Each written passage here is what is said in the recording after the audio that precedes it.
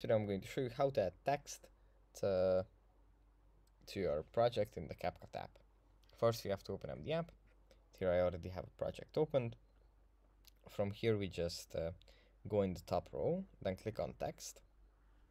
And here we can just click on default text and we can click on the plus icon and here we will have this uh, text bubble which we can uh, edit later on uh, and yeah, that's basically it for this video. I hope it was helpful for you guys and I'll see you in the next one.